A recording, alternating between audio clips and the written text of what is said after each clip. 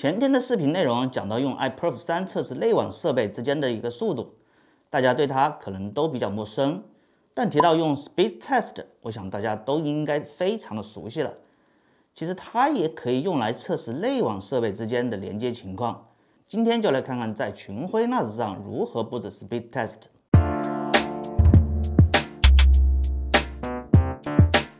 嗨，大家好，我是小鹏。虽然今天使用的是群晖 NAS。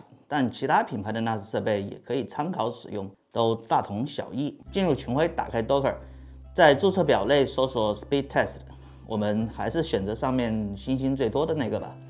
双击拉取镜像，同时呢，我们打开 File Station，在 Docker 下面新建一个同名文件夹 Speed Test。当然，你也可以把它放在其他地方。再次回到 Docker 镜像，拉取完毕了，双击打开配置容器。下一步，名称随意就可以，顺手把自动重启也可以勾上，还是点击下一步，来到本地端口这里，大家随便填就可以，但注意啊，不要和你其他使用的 Docker 容器的端口一致，不然就冲突了，导致两个都不能用。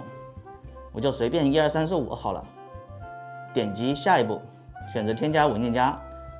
找到刚才在 File Station 里面新建的那个 Speed Test 文件夹，装载路径输入斜杠 Speed Test，还是下一步，最后就完成了，非常简单。到这里呢，Docker 的安装就完成了。布置好了服务后呢，就可以在任何设备打开浏览器，输入 NAS 的 IP 地址加上一二三四五的端口号，进入 Speed Test。